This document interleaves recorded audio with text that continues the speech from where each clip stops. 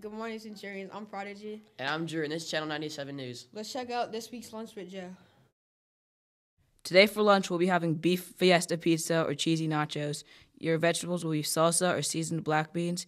Your fruit will be fresh apple or sliced peach cup, and your choice of milk. Thanks, Joe, for that lunch report. Now let's check out this weather forecast with Gavin.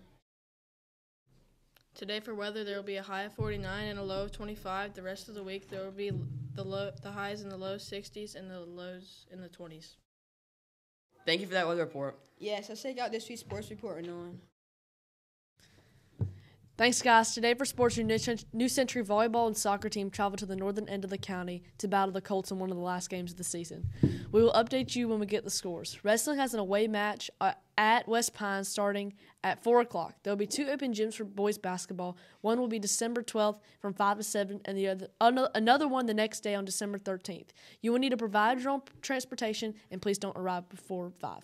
For other sports, the Dallas Cowboys battle the Eagles for the first place seed in the NFC East. Cowboys took down the Eagles in a 33, 33 to 13 win, and the Panthers also followed 1 to 12 this weekend as they lost to the Saints. That's it for sports. Back to you on the studio. Thanks, Nolan. Good luck to all Centurion sports teams. Let's check out this day in history with Bryce.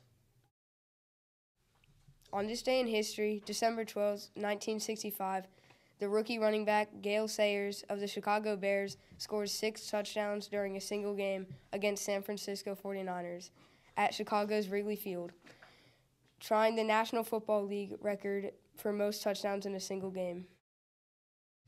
Thanks for all those historical facts, Bryce. Seems interesting. Also, don't forget you have one more day to purchase Santa Grams. That's it for today's Centurions. Don't, Don't have, a, good, a good day. day. Have, Have a a great great day. day.